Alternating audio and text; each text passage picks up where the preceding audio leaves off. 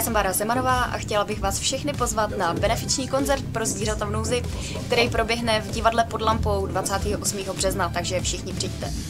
Zdravím vás, já jsem Lichťa a jménem Showpointu bych vás rád pozval na benefiční koncert, který se koná 28. března od 19.00 v divadle pod lampou, kam když přijdete nejen, že se dobře pobavíte, ale pomůžete zvířatům v nouzi v plzeňské útolku, kam přesně poputuje výdělek z akce. Ahoj, tady Electric Lady.